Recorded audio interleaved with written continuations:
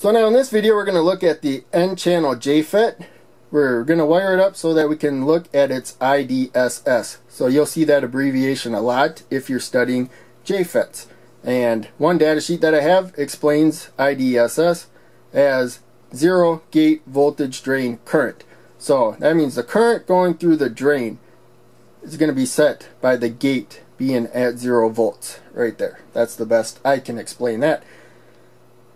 For uh, the N-channel JFET, a lot of that depends on the particular component that you're using. So we're going to use the J310. Here's the pin layout really quick. Drain to the left, source in the middle, and gate to the right. I should have wrote them out, but uh, in case that's what it is. Drain, source, gate.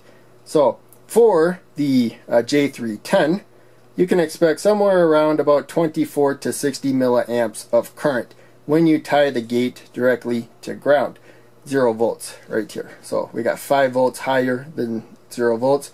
And this one, we got eight volts higher than zero volts right there. And uh, so we can expect somewhere about 24 to 60 milliamps.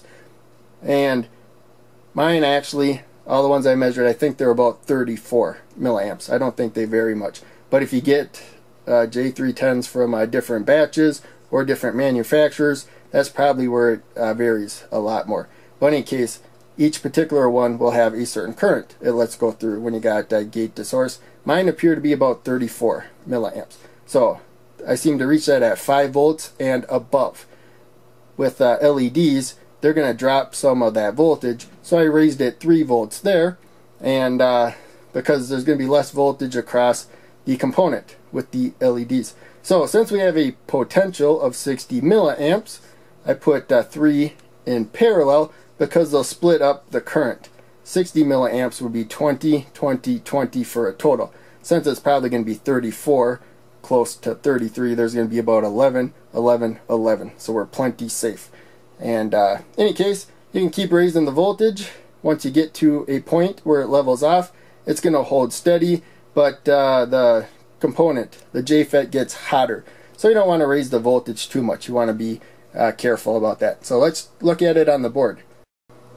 So now here we have the uh, J310. We got the drain up there, the source right there, and the gate right there. The gate and the source tied to ground, and I have this little jumper to the drain to give me a little point to measure with the uh, multimeter without having to touch the transistor and maybe throw it out of position or something, kind of lose a connection. But in any case, there you can see we also have a gap where I'm going to take the uh, multimeter measurement. We got the multimeter there. Right now we are at 5 volts and since we have the potential of uh, 60 milliamps, I set the power supply to provide uh, up to that amount. It won't provide any more though. And then we have uh, the output on right now. So until that says on, it's not providing any power even though the display is lit up.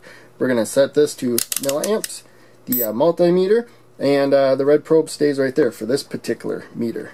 And so that's it. We can take our measurement really quick I have the other side of the probes here. And we will go directly to the uh, jumper there. And there you can see 34 milliamps as I said before. That seems to be what uh, all of my J3 10s will do. So again I can go uh, yeah that was the right spot. I can go there or right to the uh, drain up there.